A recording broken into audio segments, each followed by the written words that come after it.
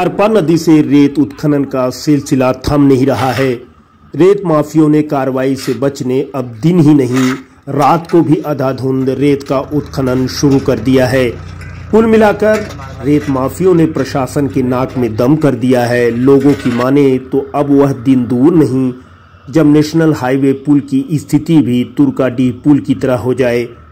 देर रात अवैध उत्खनन से नेशनल हाईवे पुल का पिलर खतरे में है। बातचीत के दौरान कुछ हाईवा चालकों ने बताया कि जब तक स्थानीय नेताओं का आशीर्वाद रहेगा, रेत का अवैध उत्खनन कभी नहीं रुकेगा। सरकार घाट का टेंडर निकाले या नहीं निकाले, घाट मिले या नहीं मिले, लेकिन रसूखदारों के इशारे में रेत उत्खनन का धंधा फलता फूलता रहेगा। खनिज विभाग के अनुसार कुल 18 रेत घाट में मात्र दो रेत घाट पहंदा और रतखंडी से ही रेत उत्खनन की अनुमति है। लेकिन बीती रात देखने में आया कि रसूखदार सफ़ेद पोशों के इशारे पर रेत माफिया सेंद्री स्थित नेशनल हाईवे पुल के आसपास से कछार और लोफंदी तक अरपा का सीना चीर रहे हैं।